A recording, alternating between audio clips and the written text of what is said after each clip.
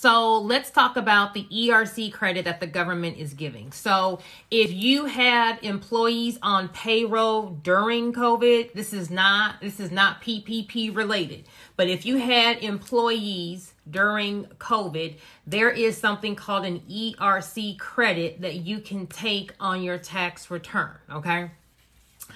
Please don't DM me any questions on this because I am not a CPA. You need to get this credit. It's a calculation based on the percentage, I believe, of payroll taxes that were paid.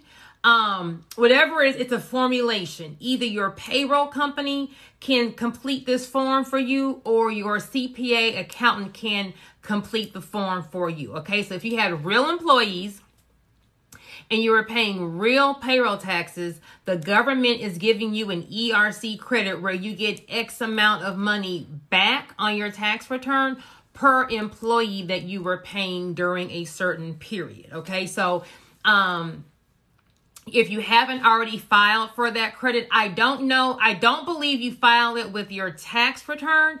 I believe you file this separately. Don't quote me on this, but get with a CPA or an accountant. I will tag a couple of CPAs and accountants that I know in the comments to see if you qualify for the ERC credit.